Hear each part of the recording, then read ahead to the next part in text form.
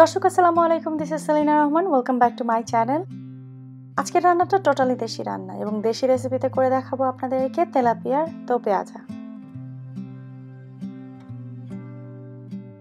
প্রথমে মাছগুলোকে কেটে, ধুয়ে নিয়ে, কেচে নিয়ে এর মধ্যে সামান্য একটু হলুদ এবং মরিচের গুঁড়ার সাথে লবণ দিয়ে মেখে নিচ্ছি।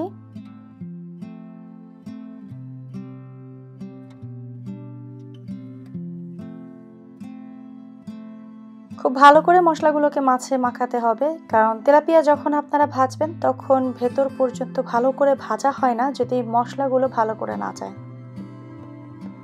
আর সেই একই কারণে মাছগুলোকে আমি দুই টুকরো করে নিয়েছি। আস্ত তেলাপিয়া রান্না করলে দেখতে ভালো লাগে, বাট খাওয়ার সময় ভেতরটাতে খুব একটা মশলা পাওয়া যায় না। যেহেতু দেশি স্টাইলে করছি, তাই অবশ্যই ভেতরে একটু মশলা পানি যেতে হবে কিন্তু। মাছগুলোকে আমি এখন একটু ভেজে নেব।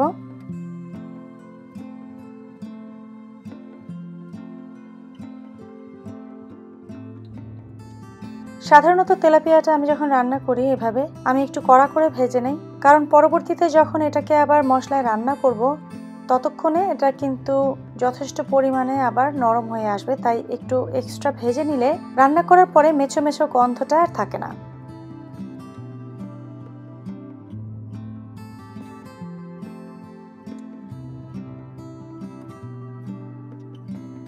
আজকে আমি রান্না করছি মিডিয়াম সাইজের তিনটা মাছ। এই জন্যে কোয়াটার কাপ তেল দিয়ে এর মধ্যে এক কাপ পরিমাণ পেঁয়াজ কুচি দিয়ে এগুলোকে একটু ভেজে নিচ্ছি।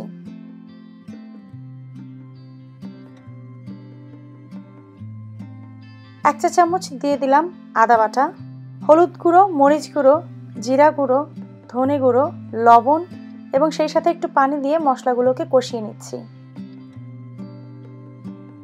আমি মশলা কতটুকু কি পরিমাণে দিচ্ছি সব কিছু ডিসক্রিপশন বক্সে লেখা আছে, আপনারা একটু চেক করে নেবেন।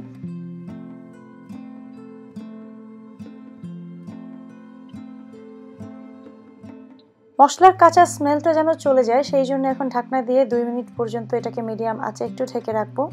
এই ফাঁকে আমি টমেটো এবং কাঁচামরিচ রেডি করে নিচ্ছি।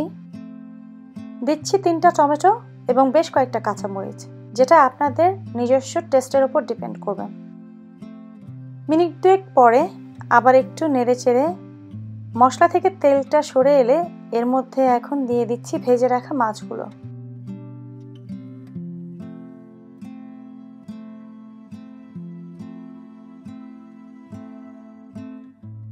একই সাথে মাছ এবং টমেটোর সাথে কাঁচামরিচ সব একসাথে দিয়ে মিনিট খানিকের মতো একটু অপেক্ষা করে মাছগুলোকে উল্টে দিব।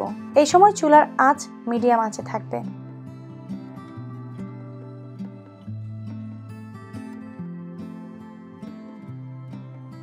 সবগুলো মাছ উল্টে দিয়ে দুই কাপ পরিমাণে পানি দিয়ে দিচ্ছি। এই দুই কাপ পানি মাছটাকে রান্না করে এক কাপের মতো ঝোল রেখে দিবে। এখন চুলার আঁচটা বাড়িয়ে পাঁচ মিনিটের মতো ঝোলটাকে বলক এনে নিচ্ছি।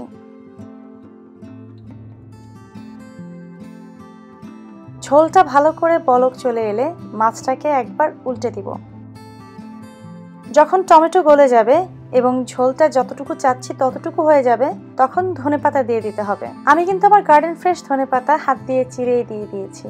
অসম্ভব সুন্দর একটা ফ্লেভার এসছে। তবে এটা টোটালি আপনাদের পছন্দের ওপর। যারা ধনে পাতার ফ্লেভার পছন্দ করেন না, তারা এটা অ্যাভয়েড করতে পারেন। রান্না শেষে ঢাকনা দিয়ে রেখে দিলাম। ঠিক পরিবেশনের আগে ঢাকনা খুলে গরম গরম পরিবেশন করব। আর আজকের এই রান্নাটা গরম গরম ভাত দিয়ে খেতে যে কতটা অসাধারণ হবে সেটা আপনারা যখন রান্না করবেন, তখনই বুঝতে পারবেন। রান্নাটা সহজ করে দেখাবার চেষ্টা করেছি। ভালো লাগলে নিশ্চয়ই একটা থামস আপ দিবেন, কারণ রান্না তো সহজই হওয়া উচিত, তাই না? আবারও কথা হবে নেক্সট কোনো রান্নায়। সেই পর্যন্ত আপনারা সবাই ভালো থাকবেন, সুস্থ থাকবেন। আমাদের সবার জন্য দোয়া করবেন। কি ওয়াচিং সালিনা রহমান আল্লাহ হাফেজ।